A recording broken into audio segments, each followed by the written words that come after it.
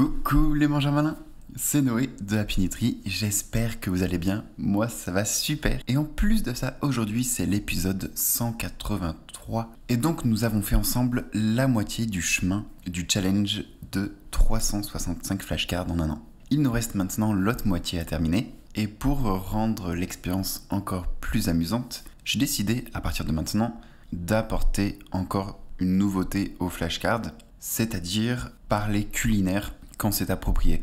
Bon, que ce soit moi ou que ce soit l'IA, ce sera souvent plus l'IA, vu qu'elle nous corrige. Mais voilà, quand c'est approprié, on pourra parler cuisine, culinaire, technique, idées recettes. Je pense que ça peut servir à chacun de nous et pourquoi pas éveiller notre curiosité. Bref, c'est parti, commençons sans plus attendre, let's go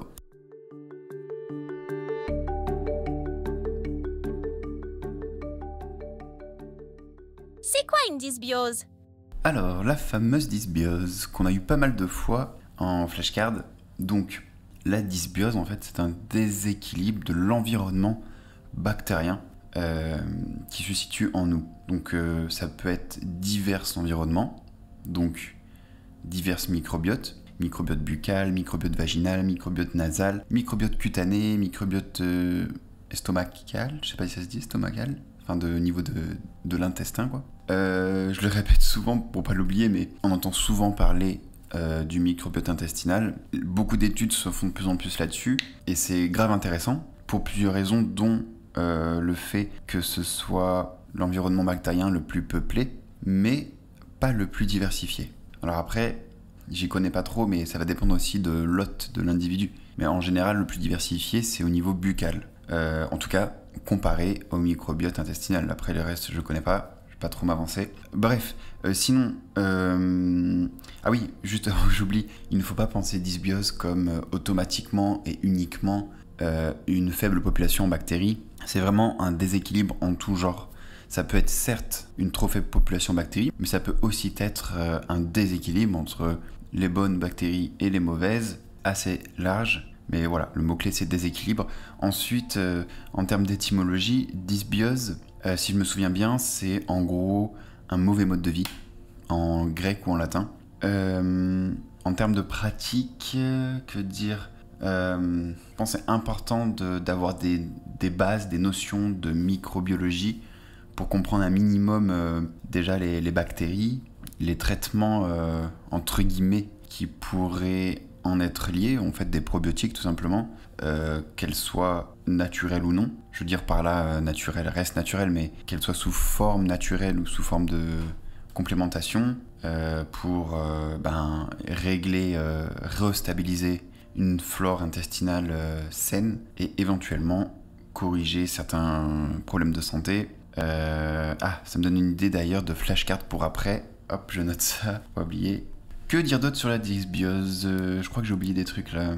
D'un point de vue à la fois euh, aliment, botanique et culinaire, c'est le moment d'en parler, de prendre la bonne habitude.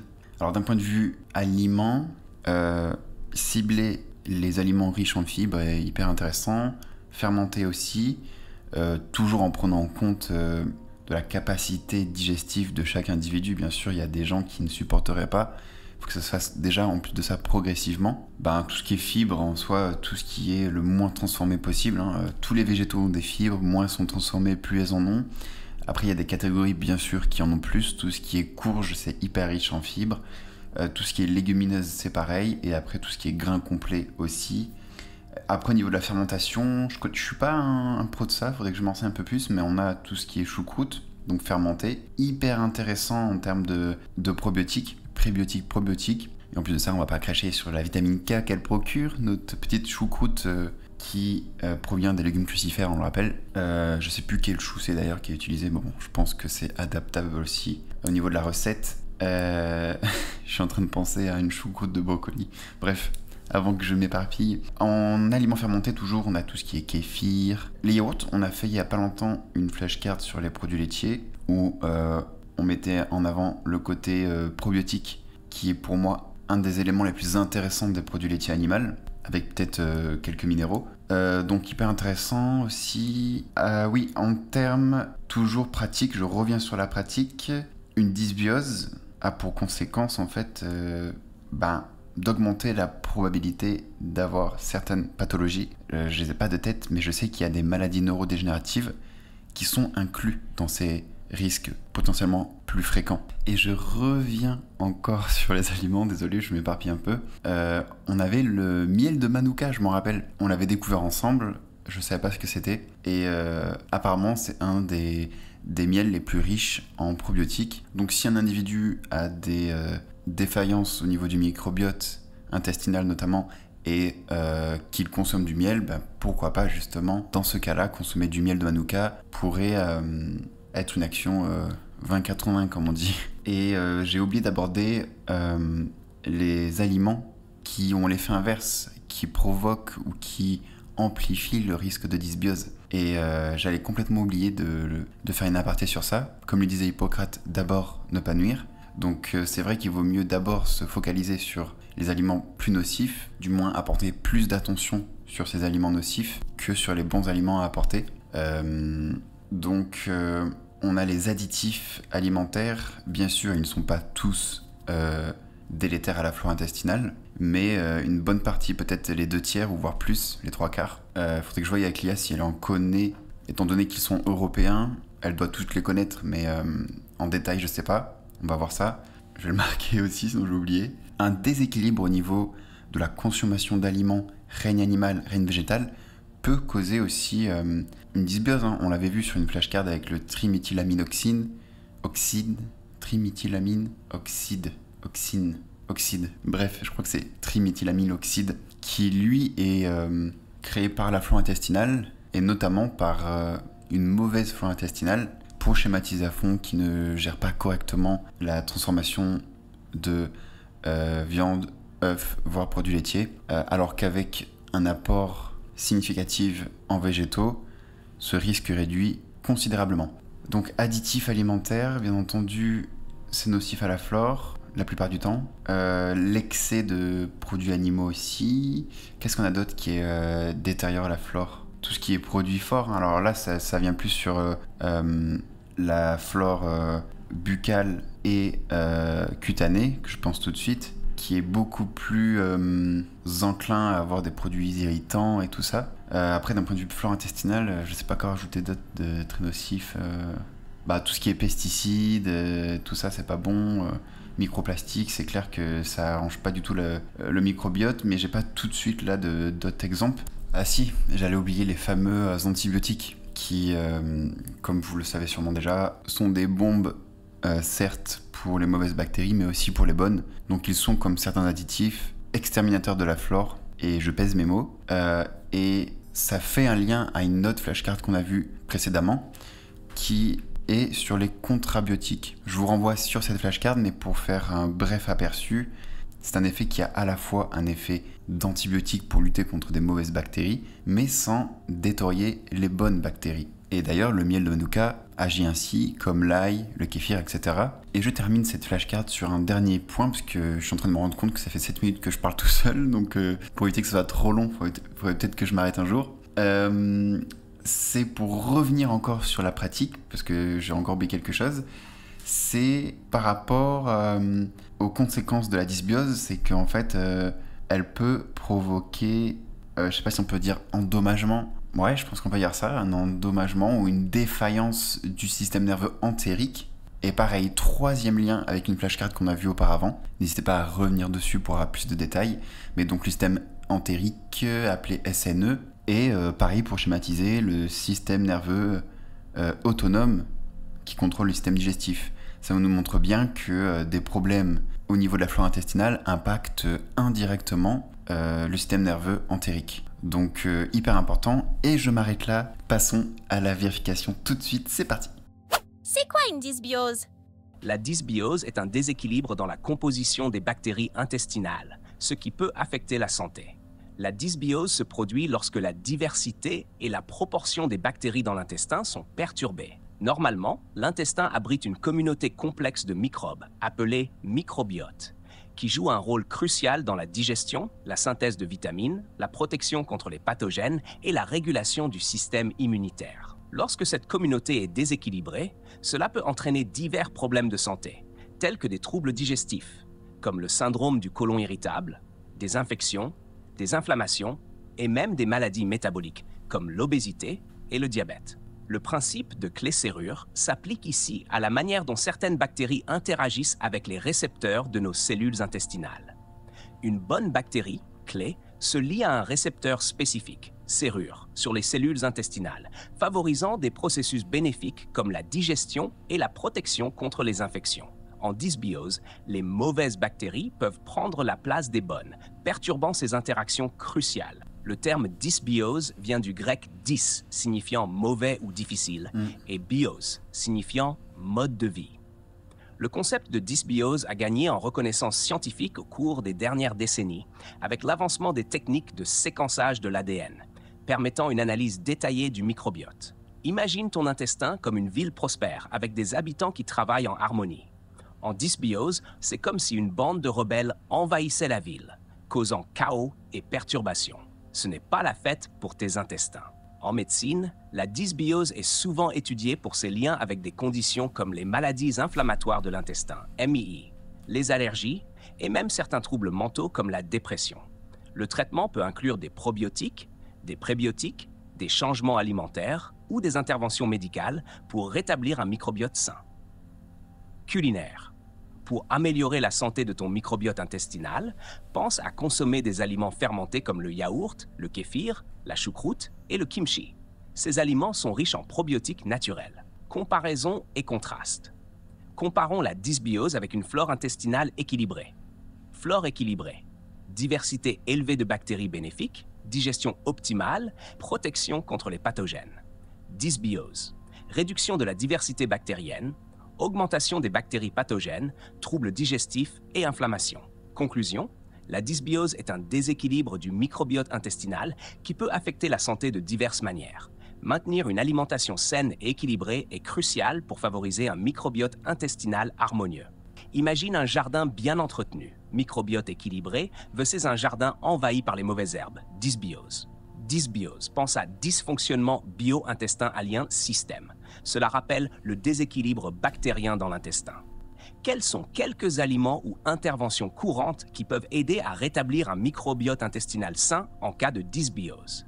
Euh, Je dirais du coup qu'en termes d'aliments, euh, comme on l'a vu juste avant, on a ce qui est riche en prébiotiques, donc euh, les courges, les céréales, les oléagineux complets, riches en fibres, ainsi que tout ce qui est naturel naturellement riche en probiotiques comme le chou fermenté, choucroute, euh, kéfir, euh, miel de manuka. Tu as cité aussi le kimchi, que je connais pas, mais euh, vu le nom, je dirais que c'est soit un fruit, soit une boisson japonaise. Après, au niveau des interventions, bah, complémentation de suppléments en probiotiques. Et là, je connais malheureusement pas assez bien le nom des bactéries bénéfiques à, à, la flore. Peut-être toute la famille des bacillus, à moins qu'il y en ait des mauvaises, comme lactobacillus, tout ça, mais je sais pas s'il y en a des mauvaises aussi, des bacillus. Et aussi, pour terminer, parle-moi rapidement des additifs qui sont nocifs pour la flore, et n'hésite pas à regarder sur Internet si besoin. Ta réponse est globalement correcte et montre une bonne compréhension des bases de la nutrition et du rôle des prébiotiques et probiotiques. Voici quelques ajustements et informations supplémentaires pour améliorer ta réponse. Aliments pour rétablir un microbiote intestinal sain. 1. Aliments riches en prébiotiques. Fruits et légumes riches en fibres. Bananes, asperges, ail, oignons, topinambour. Céréales complètes. Avoine, orge. Légumineuses. Lentilles, pois chiches. Oléagineux. Amandes, noix. 2. Aliments riches en probiotiques. Choucroute. Chou fermenté riche en probiotiques. Kéfir. Boisson fermentée à base de lait ou d'eau. Kimchi. Plat coréen traditionnel à base de légumes fermentés, souvent du chou et des radis. Ah. Yaourt contient des cultures vivantes comme Lactobacillus et Bifidobacterium. Miso, pâte de soja fermentée utilisée dans la cuisine japonaise. Ah Kombucha, boisson fermentée à base de thé sucré. Mhm. Intervention pour la dysbiose. Complément probiotique. Supplément contenant des souches bénéfiques comme Lactobacillus, Bifidobacterium et parfois Saccharomyces boulardii, une levure bénéfique. Changement alimentaire adopter une alimentation riche en fibres et en aliments fermentés. Réduction des antibiotiques.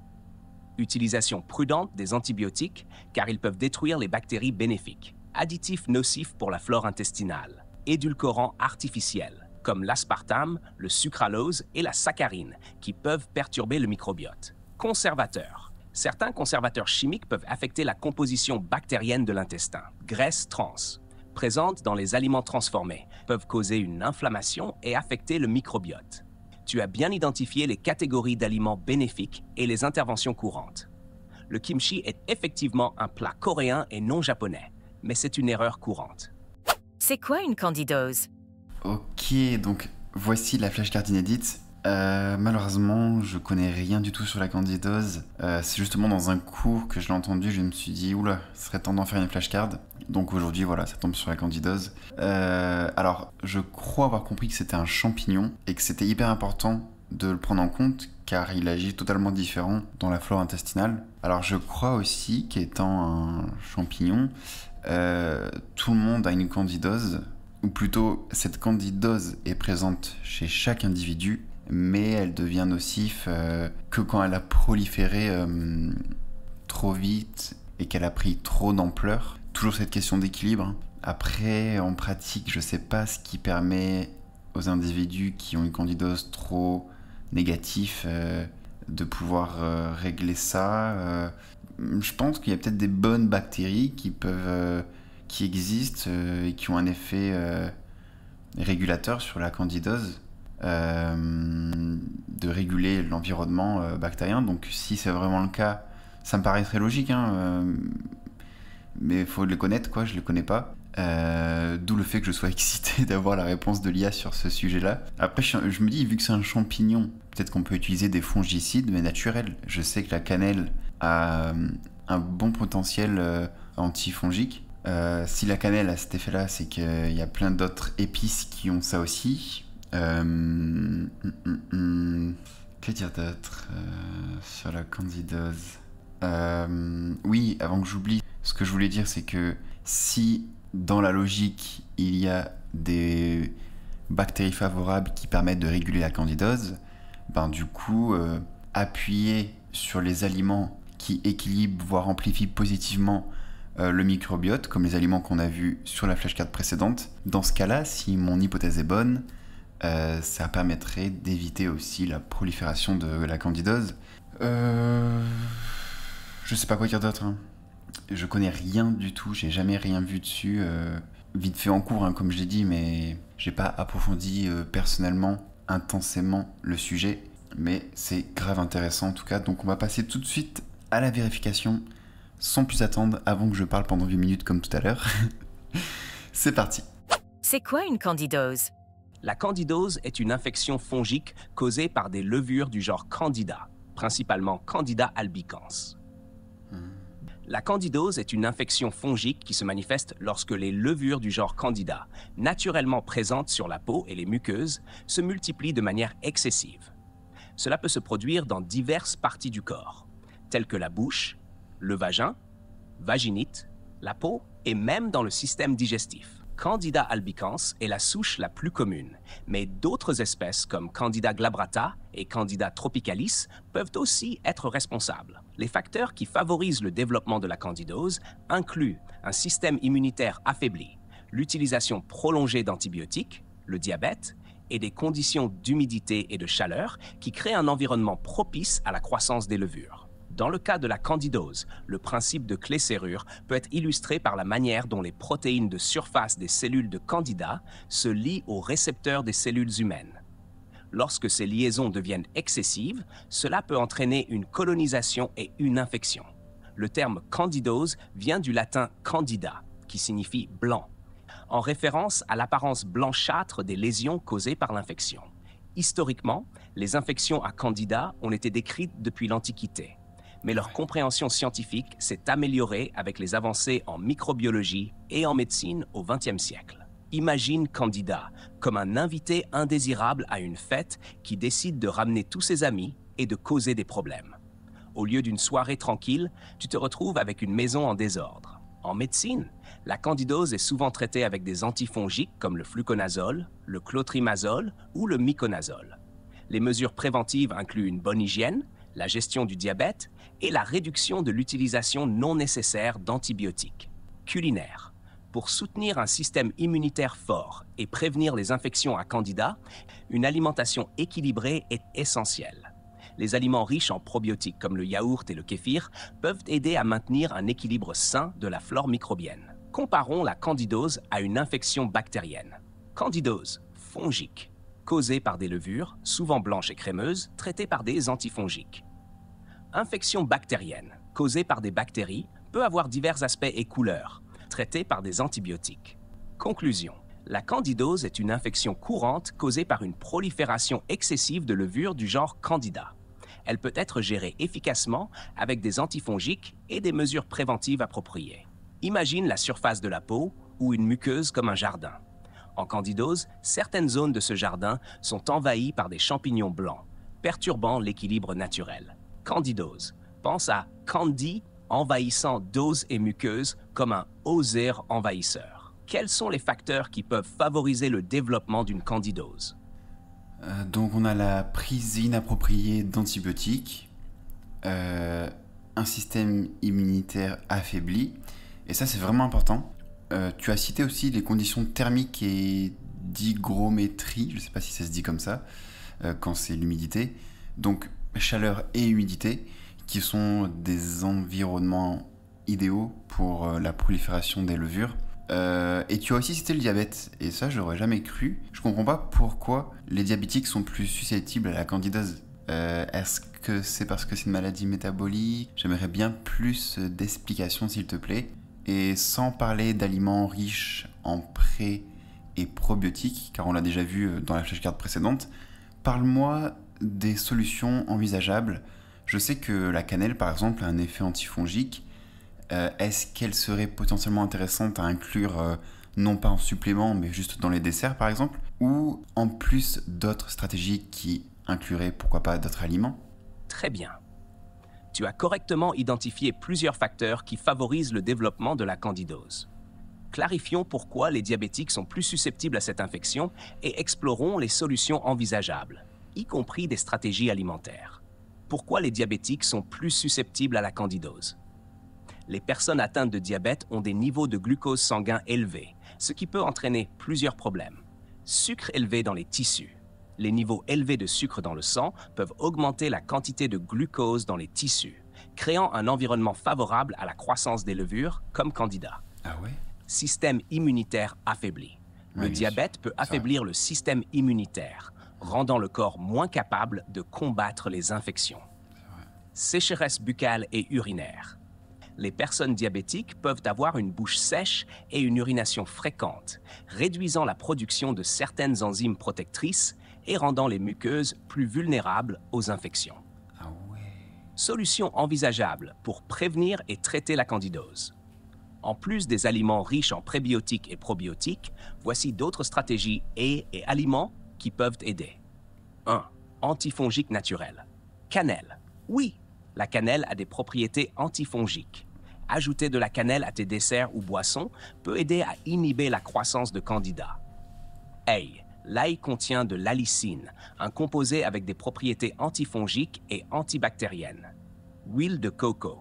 L'acide laurique et l'acide caprylique présents dans l'huile de coco ont des effets antifongiques. 2.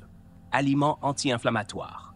Curcuma contient de la curcumine qui a des propriétés anti-inflammatoires et antimicrobiennes. Gingembre a des effets anti-inflammatoires et peut soutenir la digestion et l'immunité. 3. Régulation de la glycémie. Fruits et légumes à faible index glycémique pour aider à contrôler les niveaux de sucre dans le sang, favorisant des fruits comme les baies, les pommes et les légumes verts. Fibres. Consommer des aliments riches en fibres pour aider à réguler les niveaux de glucose sanguin. 4. Hydratation et hygiène. Bonne hydratation. Boire suffisamment d'eau pour maintenir une bonne hydratation et soutenir les fonctions corporelles. Hygiène. Maintenir une bonne hygiène personnelle pour prévenir la prolifération des levures, particulièrement dans les zones chaudes et humides du corps. Pense à Candida comme un ennemi invisible qui adore les endroits sucrés et chauds. En le privant de ses conditions préférées, tu le mets au régime forcé. Conclusion? La candidose est une infection fongique favorisée par plusieurs facteurs, notamment un système immunitaire affaibli et des niveaux élevés de glucose. En plus des antifongiques médicaux, des stratégies alimentaires, incluant des antifongiques naturels comme la cannelle et l'ail, peuvent être bénéfiques. Une bonne hygiène et la gestion de la glycémie sont également essentielles. Bravo, tu fais d'excellents progrès. Chaque question te rapproche de la maîtrise de ces concepts. Continue à poser des questions et à explorer en profondeur. Après cette session, assure-toi de bien comprendre les raisons pour lesquelles les diabétiques sont plus susceptibles de développer des infections à candida et les différentes stratégies alimentaires pour les prévenir. Ok, donc là on a pas mal de flashcards à faire avec tout ce qu'on vient d'apprendre. Et vous avez entendu, la cannelle a bien un effet antifongique. Mais ce qui est intéressant, c'est que vu que euh, le diabète augmente le risque de candidose, et ben la cannelle est beaucoup plus intéressante, étant donné qu'elle a un effet pour régler la glycémie, plus antifongique. Personnellement, moi je l'utilise aussi, mais plus pour les plantes. Voilà, voilà, j'espère que ça vous a plu. Terminé pour aujourd'hui. Si vous êtes resté jusqu'à la fin, félicitations. Restez motivés et je vous dis à demain pour une prochaine révision. Ciao ciao